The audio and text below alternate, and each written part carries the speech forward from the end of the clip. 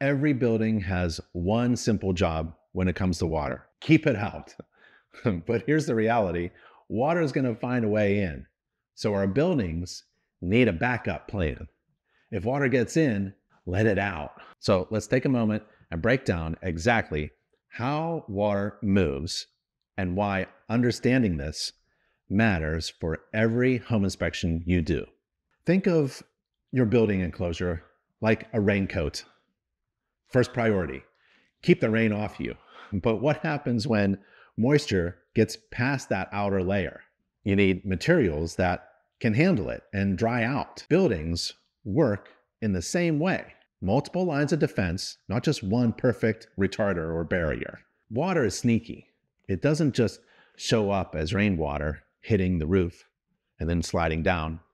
Water can enter buildings in several different ways. Here are the four main forms of water, and each one is differently, it behaves differently. First, there's liquid water.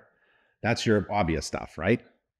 Rain, plumbing leaks, groundwater, that's easy to spot when there's a problem. The second form of water is solid water. That's ice. Think of ice dams, freeze thaw cycles, frost. Ice expands, that expansion can crack, move, damage building materials. The third form is water vapor. That's invisible moisture in the air. This one's tricky because you can't see it, but it's constantly moving through your building envelope. Fourth, here's where it gets a little interesting adsorbed water. That's water that clings to surfaces like a thin film. And let me clear something up that confuses a lot of uh, home inspectors and contractors.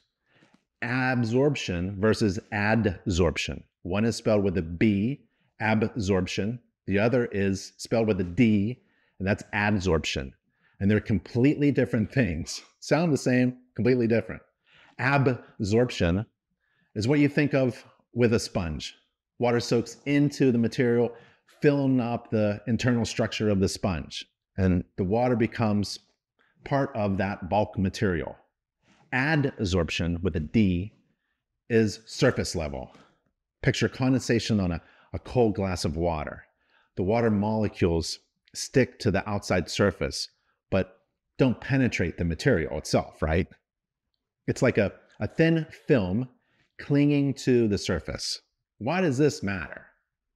Because building materials handle these two types of moistures completely differently, and your inspection process needs to account for both.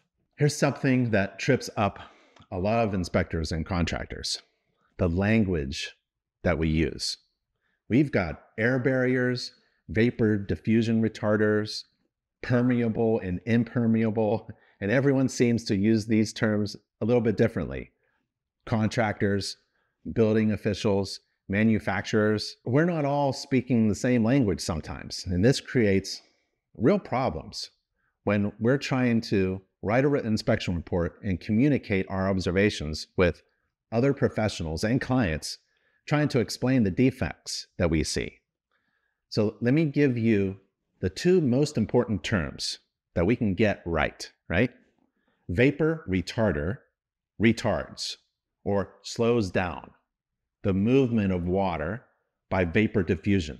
It doesn't stop it completely, it controls the rate of movement. Now, you might hear people say vapor barrier, but that's old school. Old school terminology we don't use anymore. Why? Because true barriers don't exist in the real world of construction.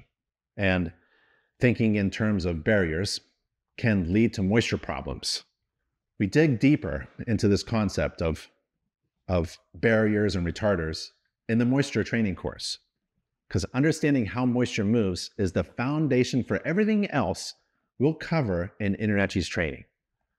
Once you grasp the basics, the terms like PERMs, vapor retarder classes, well, everything else will make perfect sense. You'll understand why different climates need different approaches and why some building details that look wrong might actually be right for their specific situation. Remember, water is always moving always looking for a path of least resistance to move. And our jobs as home inspectors is to is to understand those pathways and to spot when the building's defense system has gaps. So let's dive real deep into how moisture actually moves through buildings.